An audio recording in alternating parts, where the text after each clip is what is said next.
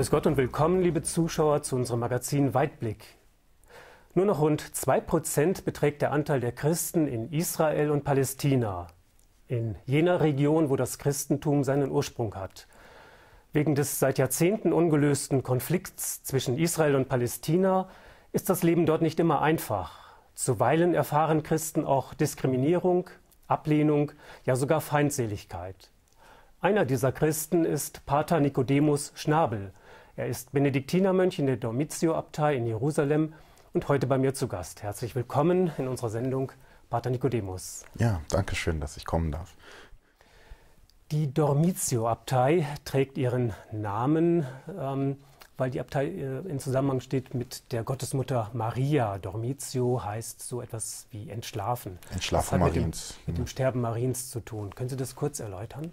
Ja, der Begriff ist vielleicht etwas irritierend, weil Dormitio, Entschlafung, denkt man, ein Begriff, den man im Deutschen so nicht kennt. Es geht tatsächlich um, äh, dass wir der Sterbeort Mariens sind. Nur es gab mal eine Diskussion innerhalb der Theologie, die ist auch schon so 100 Jahre etwas her, wo man gesagt hat, man vermeidet den Begriff Tod für Maria, weil Tod ist quasi der Begriff für Menschen, die Sünder waren.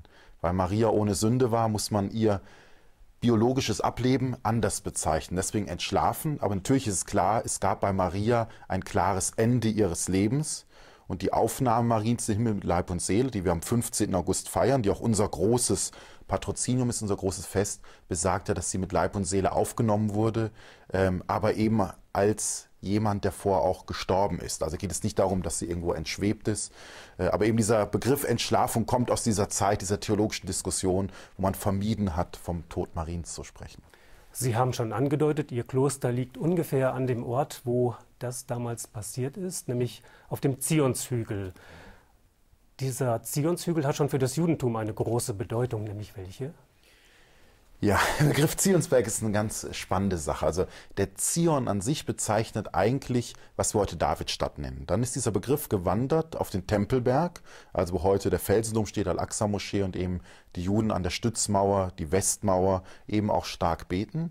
Und wir sind eigentlich der dritte Zion von dem Begriff der Wanderung auf den Südwesthügel Jerusalems, ähm, der christliche Zion. Und den Begriff haben eigentlich die Kreuzfahrer da äh, eingeführt weil sie archäologisch und historisch durchaus eine richtige Nase hatten, gesagt haben, hier war eigentlich so das Armenviertel der Juden. Wir waren lange immer innerhalb der Mauern, jetzt sind wir außerhalb. Und zur Zeit Jesu war das das Armenviertel. Und man weiß, die ersten Christen kamen nicht aus der High Society, sondern eher die einfachen Leute. Und deswegen wurde da das letzte Abendmahl verortet, gab es eine lange Tradition, das in unserer unmittelbarer Nachbarschaft auch zu unserem Kloster.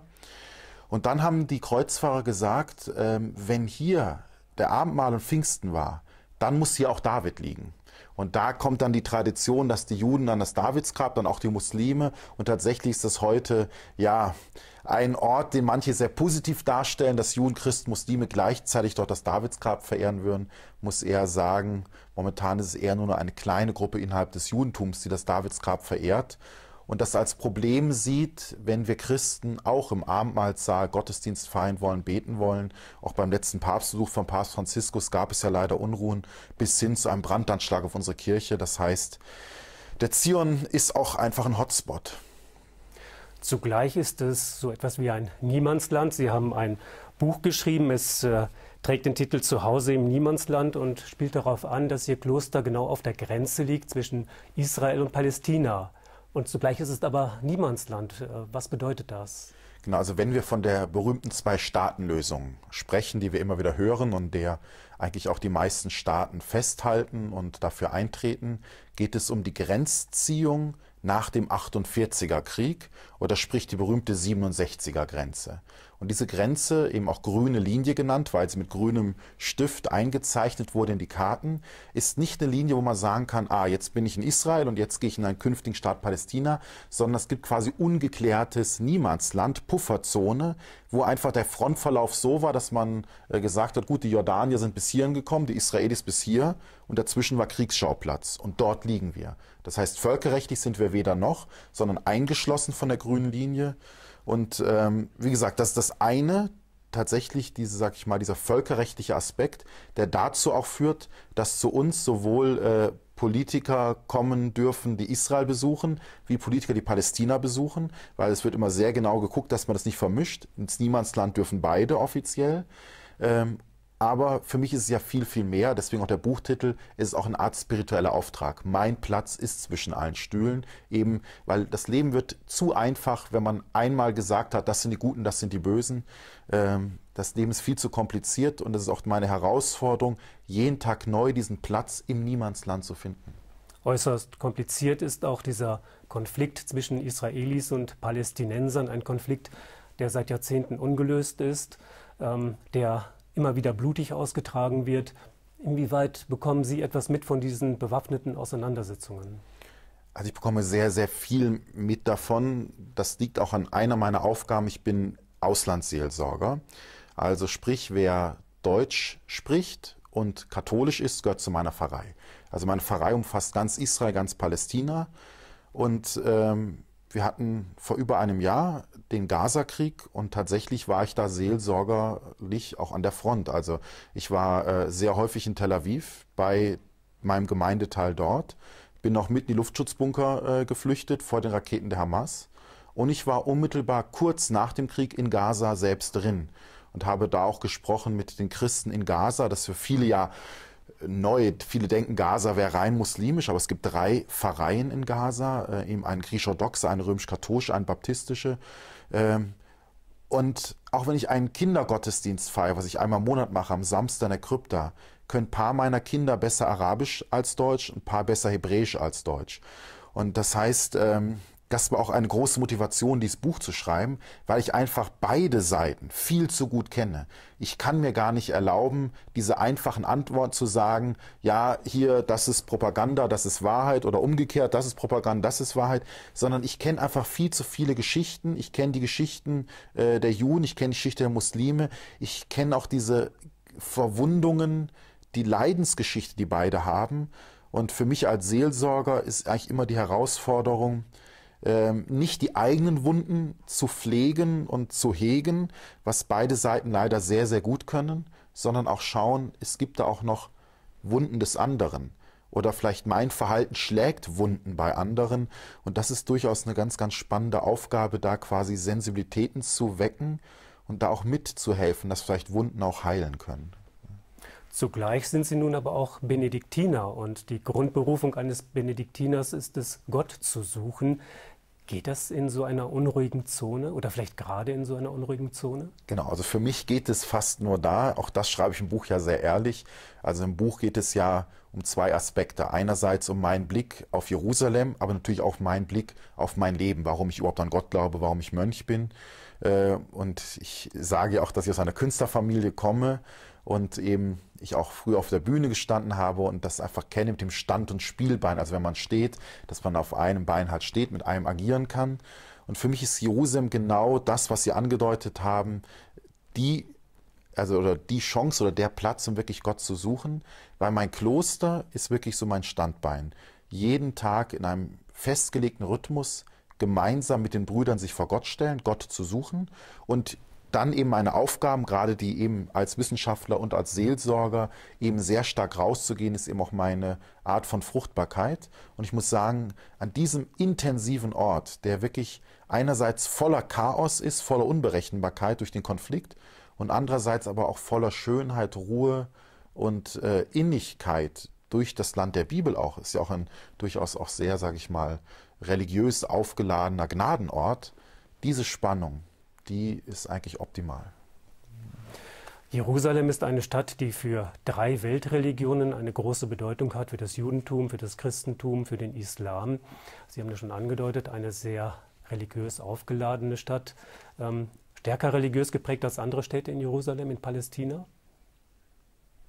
Ja, also Jerusalem ist natürlich ja eine, äh, soll man sagen, eine äh, intensivste äh, ähm, äh, Stadt, die natürlich, äh, oder ich will mal so sagen, ich glaube, es gibt, die, es gibt durchaus auch eine Gefahr. Es gibt die Gefahr, dass man Jerusalem wie so eine Art religiöses Freilichtmuseum sieht, wo man halt sehr stark auf die Steine achtet, also eben auf die Gebäude, auf die Archäologie, auf das, was war.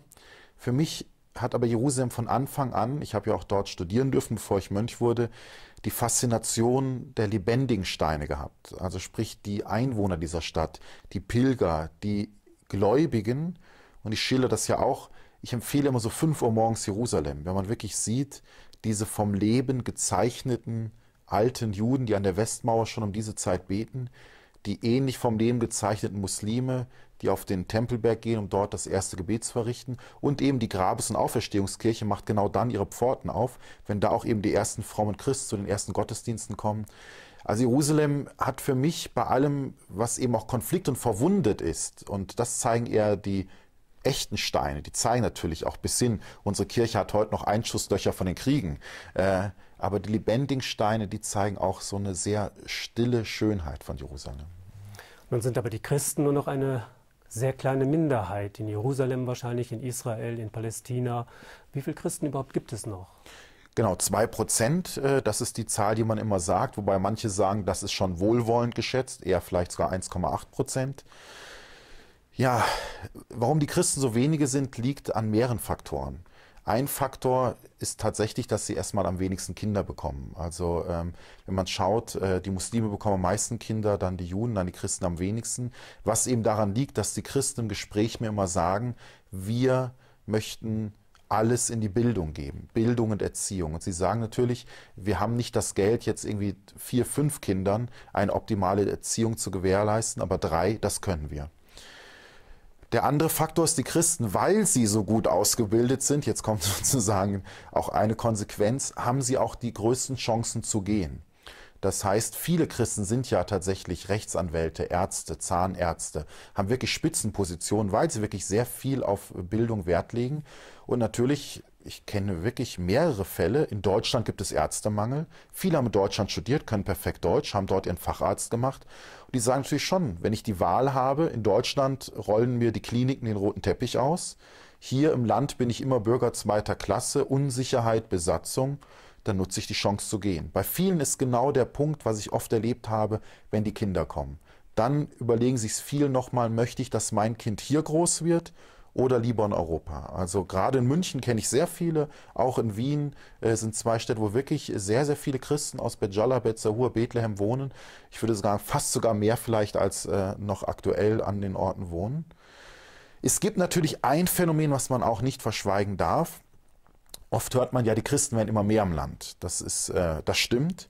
Nur muss man sagen, das ist eine äh, Form, ähm, die noch eine eigene Problematik mit sich bringt, weil hier reden wir wirklich von Menschen, die komplett am Rand der Gesellschaft stehen, nämlich einerseits von Gastarbeitern aus den Philippinen und aus Indien, äh, eben der Regel Katholikinnen, also Frauen, die Alte betreuen oder Kinder betreuen und natürlich auch äh, einige Flüchtlinge aus Eritrea, aus Äthiopien, aus Somalia, wobei die sehr schlecht behandelt werden, werden als Infiltranten bezeichnet. Ähm, aber gerade diese Gastarbeiterinnen äh, leben natürlich unter prekärsten Verhältnissen, erleben oft auch häusliche und sexuelle Gewalt. Ähm, und das ist eben, wenn wir von den hebräisch sprechenden Christen auch sprechen. Viele denken, da geht es um konvertierte Juden. Also die konvertierten Juden, die kann man, glaube ich, an zwei Händen abzählen. Sondern es geht tatsächlich darum, dass Menschen in einer israelischen Gesellschaft ähm, arbeiten, Kinder bekommen. Wie gesagt, das auch nicht immer freiwillig. Also da gibt es auch viele persönliche Schicksale, wo ich auch immer mal wieder mit konfrontiert werde. Und ihre Kinder dann groß werden mit Hebräisch als Muttersprache. Und tatsächlich, das ist natürlich eine Zahl, die wächst gerade. Aber natürlich, diese Christen werden alles andere als gut behandelt und die Großzahl von ihnen lebt in der Illegalität und zittert eigentlich jeden Tag abgeschoben zu werden. Die einheimischen Christen sind überwiegend arabisch sprechende Palästinenser, die aber in gewissem Sinne oder in, in manchen äh, Bereichen auch äh, eher diskriminiert werden. Man begegnet ihnen mit einem gewissen Misstrauen wegen dieses Israel-Palästina-Konflikts. Wie geht es diesen Christen? Genau, diese Christen fühlen sich oft zwischen allen Stühlen, so zwischen Skylla und Charybdis. Äh, ähm, wenn ich mit vielen spreche, sagen sie, wo ist unser Platz? Für die jüdischen Israelis sind wir einfach Araber, Palästinenser, sie machen keinen Unterschied, ob Muslim oder, oder Christ. Und natürlich, äh, es gab ja immer wieder vermehrt Gewalt auch von diesen national äh, jüdischen Extremisten gegen äh, christliche Einrichtungen. Also ich werde ja sehr häufig bespuckt, werde äh, angeflucht, oft sagen diese Leute go home to Italy, also geht zurück nach Italien, vor allem in ihrem Weltbild sind alle Mönche irgendwie Italiener. Und wir haben eben, wie gesagt, äh, zerstörte Autos schon gehabt, eben einen Brandanschlag in Jerusalem nach dem Papstbesuch und jetzt eben dieser sehr, sehr dramatische Anschlag in Tabqa auf unser Priorat am See Genezareth mit 1,6 Millionen Euro Schaden, zwei Menschen im Krankenhaus.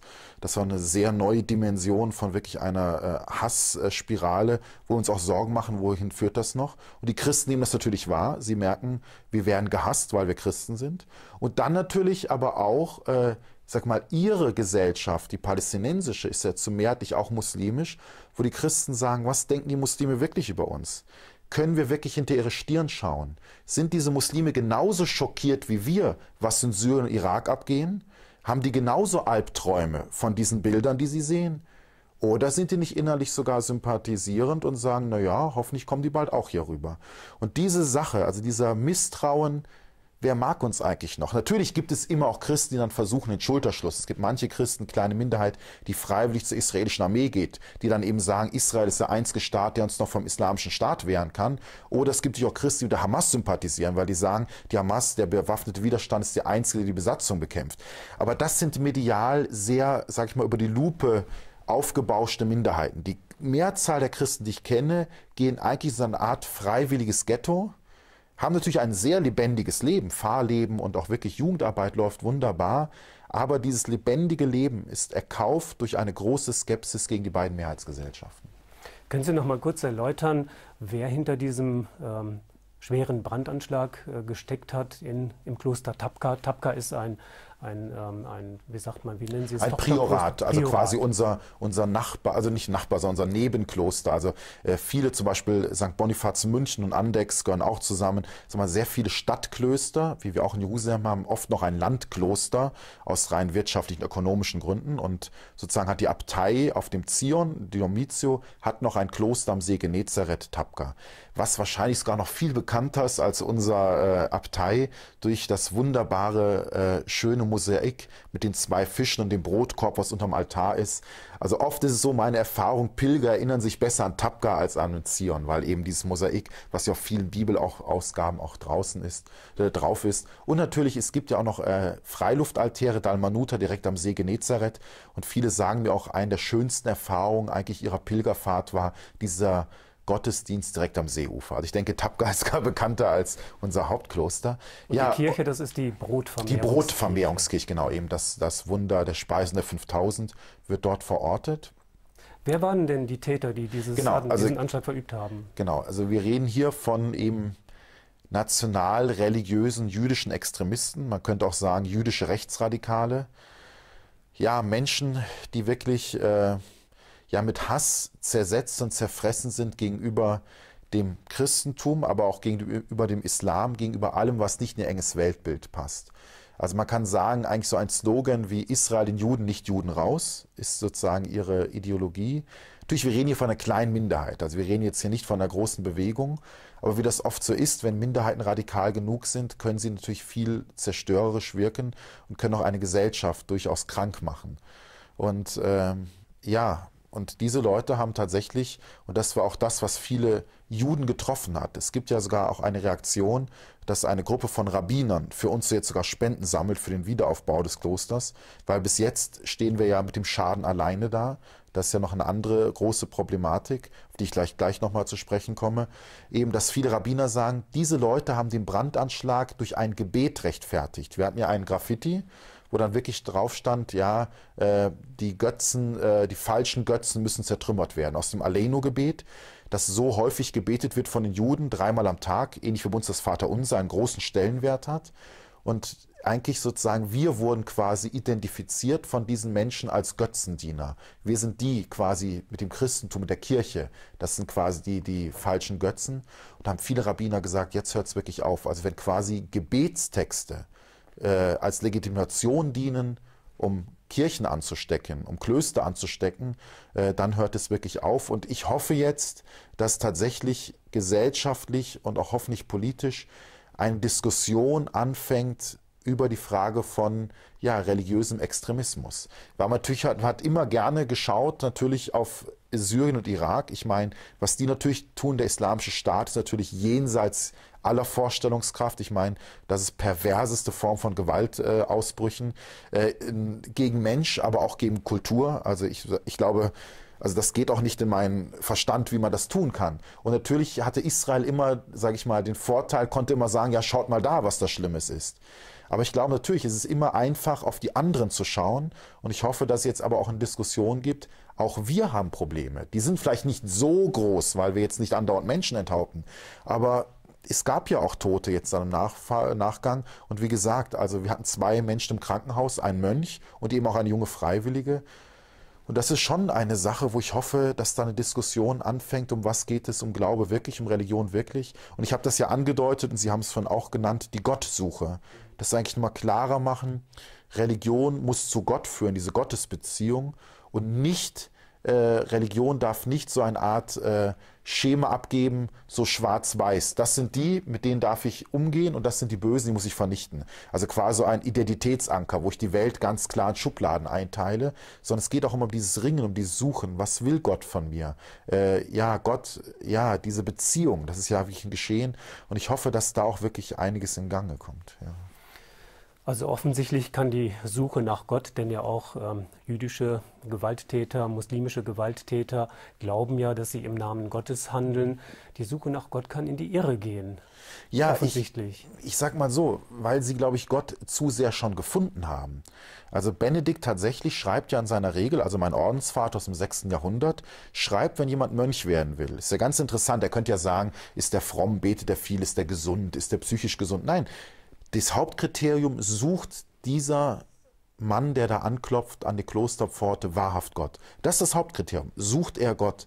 Und ich glaube eben, darum geht es, in dieses Zweifeln, Ringen, Suchen. Gerade das Psalmengebet, was wir ja den ganzen Tag über beten, bringt das ja. Da wird gejubelt, da wird gezweifelt, da wird äh, geflucht, da wird getrauert. Da kommt ja diese wirklich wie eine Beziehung, wie in einer echten Beziehung, auch in einer Ehe. Das hat ja Höhen und Tiefen. Da geht es ja auch immer, sich wieder neu suchen und finden lassen und finden. Und ich glaube, diese Fundamentalisten und Extremisten haben das Problem, sie haben Gott ganz genau gefunden. Die wissen ganz genau, was Gott von ihnen will. Und die haben nicht einen Hauch von Zweifel. Die wissen, wenn ich jetzt hier äh, den äh, äh, enthaupte oder hier äh, äh, das Kloster anstecke, das will Gott von mir. Und die fragen sich auch nicht eine Sekunde, ob das Gott wirklich will. Das heißt, sie haben Gott schon genau gefunden. Und das macht mir ja Angst, wenn Leute sehr, sehr, sehr, sehr sicher sind, was ihren Glauben betrifft. Und ich glaube, zu einem gesunden Glauben gehört das dazu, dieses Ringen, dieses eben auch Gott immer neu suchen, auch eben sich auch wahrnehmen ja als Verwunderter, als, als Zweifelnder. Und ich glaube, das ist ja auch, was Gott eigentlich möchte, dass er uns heilen darf, dass er unsere Wunden verbinden darf. Und wenn ich eben genau weiß, was Gott will, dann brauche ich eigentlich Gott nicht. Letztendlich ist das eigentlich eine andere Form von Atheismus. Weil die Leute sagen, Gott, lass mich mal, ich weiß schon, was du willst. Und ich vielleicht zum Glauben gehört ja eigentlich immer Fragen im Gebet. Gott, was ist dein Ruf an mich? Was, wo willst du mich haben? Und wenn ich genau weiß, ich meine, dann ist eigentlich, dann ist kein Unterschied, ob es Gott gibt oder nicht. Weil letztendlich Gott darf keine Rolle spielen. Ich weiß ganz genau, was er will. Und Wir sind leider schon am Ende unserer Sendung angelangt. Pater Nicodemus, als äh, letzte Frage, wie kann man diesen Fanatismus aufbrechen? Haben Christen da vielleicht auch eine besondere Berufung? Ja, ist immer die gute Frage. Natürlich die Christen immer diese arme 2% Minderheit. Ich meine, die sind natürlich auch mit sich beschäftigt, aber vielleicht ist es das auch. Vielleicht tut es auch den Christen gut, die natürlich auch sehr stark immer wieder auf ihre Wunden schauen, auf ihre Probleme, die sie ja haben. Vielleicht ist es auch eine Chance zu sagen, gut, vielleicht ist das unsere Berufung als so Sauerteig. Da braucht es ja auch nicht viel. Da eben im Kleinen vielleicht zu zeigen, nein, wir machen nicht mit bei diesem Schwarz-Weiß-Spiel, bei diesem gute-böse-Schema, sondern versuchen immer wieder neu Brücken zu bauen und und auf jeden Fall, ich für mich persönlich versuche das, eben, eben zu Hause Niemandsland zu sein und jedem Menschen offen und Liebe zu begegnen, mit offenem Herzen, offenen Händen, egal ob er Jude ist, egal ob er Christ ist, egal ob er Muslim ist, ob er Atheist ist, ob er säkular ist, gläubig. Ich versuche und nicht nur ich, sondern meine ganze Gemeinschaft und gerade in Tapka und auch in Jerusalem als Pilgerort, ja, sind da für die Menschen. Dafür wünschen wir Ihnen Gottes Segen. Danke fürs Kommen, vielen Dank für das Gespräch. Danke Ihnen. Das war Weitblick. Danke fürs Zuschauen und auf Wiedersehen.